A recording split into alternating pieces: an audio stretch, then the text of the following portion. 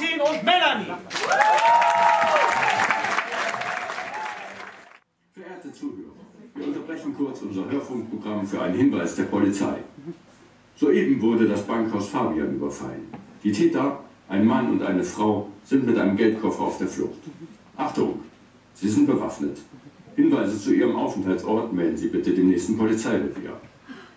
Und nun weiter in unserem Unterhaltungsprogramm. Is it a sin? Is it a crime? Robbing a deal like I do? If it's a crime, then I'm guilty.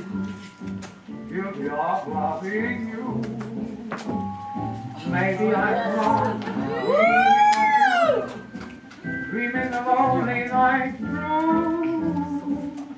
If it's a crime, then I'm guilty.